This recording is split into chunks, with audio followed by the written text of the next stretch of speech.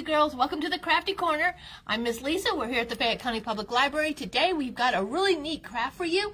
It's one that's quite simple. All you need is a plastic bag and um, a couple of the templates that I have for you. So come into the library and get up this and grab your packet. We're going to be making an underwater flashlight. It's super cool. So inside your bag, you're going to have a black piece of paper. You're going to have an underwater ocean scene and you're going to have a flashlight. So to begin with, we are going to take our flashlight and we are going to create some yellow beams coming out of our flashlight. Okay. And if you want to, you can color your flashlight. I'm just going to leave mine white. You don't need to watch me color a flashlight, but I think you would probably like to have a pretty colored flashlight. Once you've got those um, ray beams coming out of your flashlight, go ahead and cut your flashlight out. Okay. And so we have a flashlight that you can hold in your hand and use for this craft. Okay, so now I'm just going to set that aside because we'll need that in a minute. All right, the black paper gets set aside and you have your ocean template. Now you're going to want to put it in your bag and if you'll notice, it's a little bit longer than your bag. So it would be a good idea to go ahead and cut off the edges of your paper. Now, if you don't like the picture that I picked out, you can just go online and print something out that is underwater, an underwater scene. Now, where the Ziploc zipper is, that's your bottom, okay? So that's the edge of your picture. You're going to have to fold this up just a little bit and then slide it in and lay it out flat. All right, so now you have your underwater picture inside your Ziploc bag. Now, you are going to need Sharpie markers, not the watercolors because it would just smear. Because what we're going to do next is color on here. So, I see some seaweed here. We're going to color this seaweed in green. I don't know if you boys and girls have ever been to the ocean. Sometimes that seaweed washes up on shore and you get to feel and touch it. All right, look, we have here a sand dollar um, maybe like a starfish.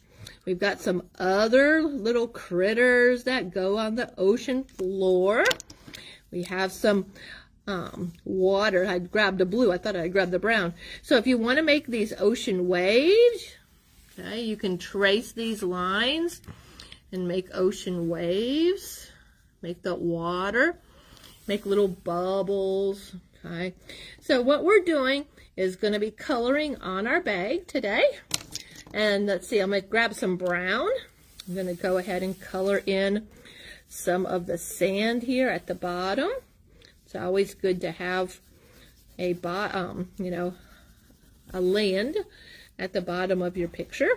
And this brown's not real juicy. It's always best to have markers that have a lot of that ink in there. Okay. Let's see what else I have. We have some of this coral. Oh, and this marker is sort of a very faded green. Maybe we'll make this little fishy yellow. The brighter the colors you are, the more of a wow effect you're going to get here in a minute. Here we have another little fishy. We'll color him pink. Why don't I color my octopus pink too? Okay. Now you're going to want to take your time, boys and girls, and color all this fun ocean animals. If you even wanted to, you might put, a little boat on the top, maybe with a little scuba diver underneath. That would be cool. Okay. So here's my octopus. I'm going to let that dry a minute, and then I'm going to draw his face in. Okay, I've got some silver here, which is a pretty cool kind of a Sharpie to use. I'm going to color in this little dolphin or porpoise. Covered right over his eye. I'm going to put that back in in a minute. Okay. Now, what about this large one? I think I'm going to have to make him fanciful. Let's make him this teal color. Most dolphins are not that color. But just to show you what happens when you use bright colors with this project, I'm going to go ahead and color him in. I've got a few other little fish to color, and then I'll show you what we can do to make our underwater flashlight work today. All right, so I have this dark blue. I'll go ahead and put the eye and the mouth in. Put the eye there. Put the eyes up here. Ooh, that makes him look sort of crazy looking like. All right, let's see what else we have. We have little blowfish here. Got the snail down here. Now, if you had a thin line black marker, you would maybe be able to outline some of this. That one might look really cool. Let's go ahead. Oh, that one doesn't work. Right, throw that one away. Let's see if this one works.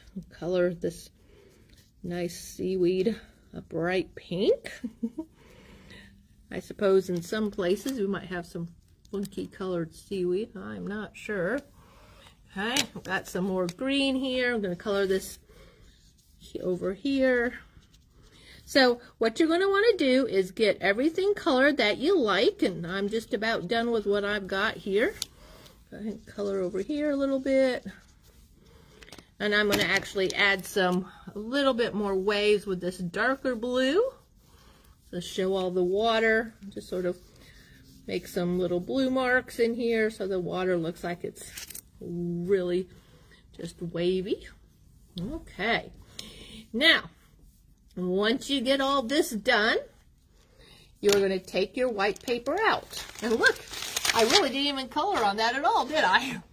Okay, so you're going to take your black paper, and I have cut it already to the right size. I believe I've done that. And you're going to want to fold it up a little bit, stick it in there.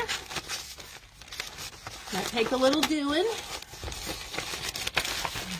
Now you're not going to be able to see what you colored very well because you have that black paper behind it.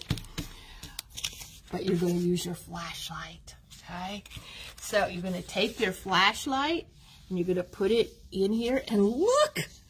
Everything just shows up. You see the green seaweed, the orange seaweed, and the starfish. And there's your dolphin.